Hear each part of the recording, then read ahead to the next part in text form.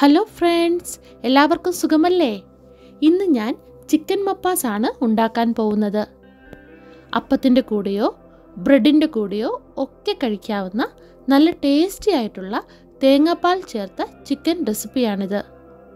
പണ്ട് കല്യാണത്തിനൊക്കെ ഈ ചിക്കൻ റെസിപ്പി ബ്രെഡിന്റെ കൂടെ വിളമ്പുമായിരുന്നു. ഇത് ഉറപ്പായിട്ടും എല്ലാവർക്കും ഇഷ്ടപ്പെടും. നമുക്ക് ചിക്കൻ മപ്പാസ് റെഡിയാക്കാം.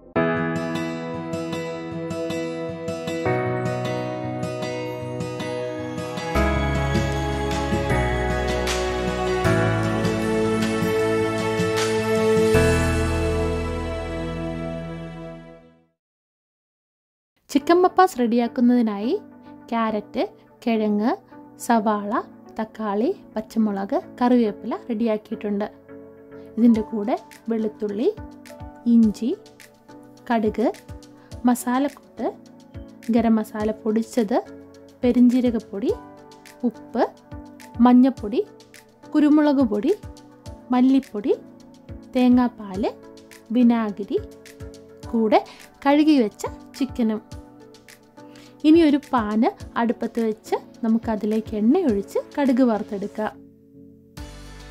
കടുക് വറുത്ത ശേഷം നമുക്ക് മസാലക്കൂട്ട് അതിലേക്കിട്ട് ഒന്ന് ഫ്രൈ ചെയ്തെടുക്കാം.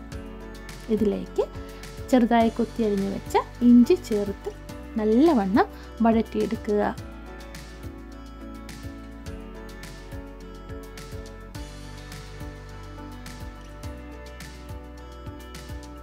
അതിലേക്ക് വെളുത്തുള്ളി ഇട്ട് കൊടുത്ത് വീണ്ടും വഴറ്റുക.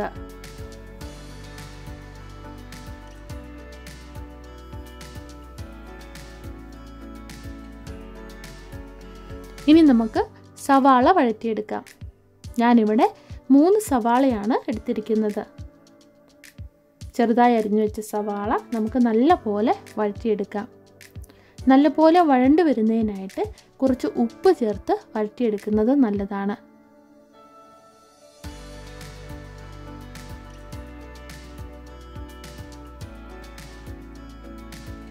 സവാള ഇവിടെ വഴണ്ടു വന്നിട്ടുണ്ട്. ഇനി നമുക്ക് നമ്മുടെ പൊടികൾ ഇതിലേക്ക് ചേർത്ത് കൊടുത്ത് വഴറ്റിയെടുക്കാം. മഞ്ഞൾപ്പൊടി രണ്ട് ടീസ്പൂൺ മല്ലിപ്പൊടി. ഒന്നര ടീസ്പൂൺ പെരിഞ്ജീരകപ്പൊടി ഒരു ടീസ്പൂൺ കുരുമുളക് പൊടി. അര ടീസ്പൂൺ ഗരം മസാലപ്പൊടി.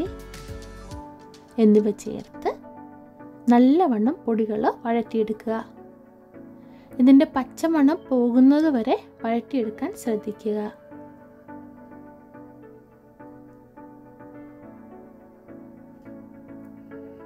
അതിലേക്ക് ഞാൻ പച്ചമുളക് ഇട്ട് കൊടുത്തിട്ടുണ്ട്. കൂടെ തക്കാളിയും. ഇവ ചേർത്ത് നല്ലവണ്ണം വീണ്ടും വഴറ്റിയെടുക്കുക.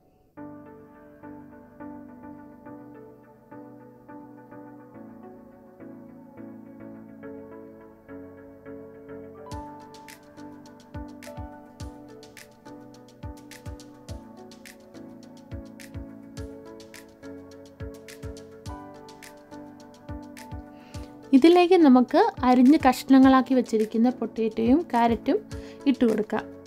ഇതിനെ വീണ്ടും നമുക്ക് അതിലിട്ട് നല്ലപോലെ വഴറ്റിയെടുക്കാം.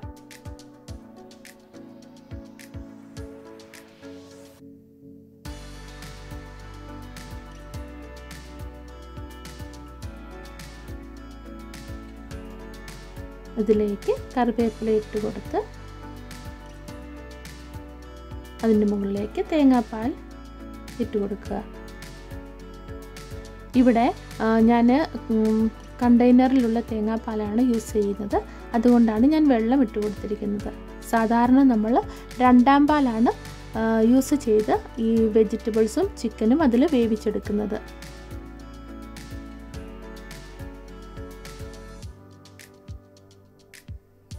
ഇനി അതിലേക്ക് ചിക്കനും കൂടെ ഇട്ട് നല്ലപോലെ ഇളക്കിയെടുക്കുക.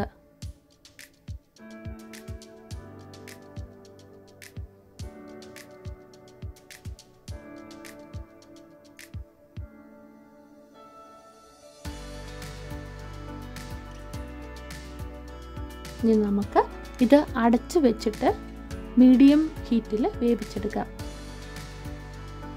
ഇവിടെ എല്ലാം വെന്ത് വന്നിട്ടുണ്ട്. ചിക്കനും വെജിറ്റബിൾസും ഒക്കെ നല്ലപോലെ വെന്തിട്ടുണ്ട്. ഇതിലേക്ക് നമുക്ക് ഒരു അര ടീസ്പൂൺ ഗരം മസാല ഒരു അര ടീസ്പൂൺ കുരുമുളക് പൊടിയും കൂടെ ചേർത്ത് കൊടുക്കാം. ഇതിലേക്ക് ഒരു രണ്ട് ടീസ്പൂൺ വിനാഗിരിയും കൂടെ ചേർത്ത് കൊടുക്കുന്നത് നല്ലതാണ്. നല്ലവണ്ണം ഇളക്കിയ ശേഷം നമുക്ക് ഒന്നാം പാൽ ഇട്ട് കൊടുക്കാം. ഇവിടെ നമ്മൾ റെഡിമെയ്ഡ് കോക്കനട്ട് മിൽക്കാണ് യൂസ് ചെയ്യുന്നത്. ഒന്നാം പാൽ ഇട്ട് കൊടുത്ത് നല്ലവണ്ണം ഇളക്കി യോജിപ്പിക്കുക. ഇത് തിളപ്പിക്കേണ്ട കാര്യമല്ല ഒന്ന് ചൂടായി വന്നാൽ മതി. ഇവിടെ ചിക്കൻ മപ്പാസ് റെഡിയായി കഴിഞ്ഞു. ഇത് നമുക്ക് അപ്പത്തിന്റെ കൂടെയോ ഇടിയപ്പത്തിന്റെ കൂടെയോ പത്തിരിയുടെ കൂടെയോ ഒക്കെ കഴിക്കാം. എനിക്ക് ബ്രെഡിന്റെ കൂടെ കഴിക്കുന്നതാണ് ഇഷ്ടം. നിങ്ങൾക്കിത് തീർച്ചയായിട്ടും ഇഷ്ടപ്പെടും. എല്ലാവരും ഇത് ട്രൈ ചെയ്ത് നോക്കി കമൻസ് ഇടാൻ മറക്കരുത്. അപ്പം എല്ലാവർക്കും നല്ല ഒരു ദിവസം നേരുന്നു. അപ്പം ടേക്ക് കെയർ ബായ്